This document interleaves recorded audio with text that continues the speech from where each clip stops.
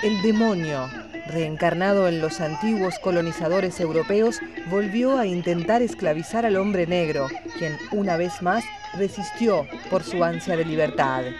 Bienvenidos al Festival Anual de Diablos y Congos, celebrado en Portobelo. Una fiesta alegórica que se celebra desde la mitad del siglo XVI en esta ciudad del Atlántico panameño, donde los europeos traficaban con esclavos negros.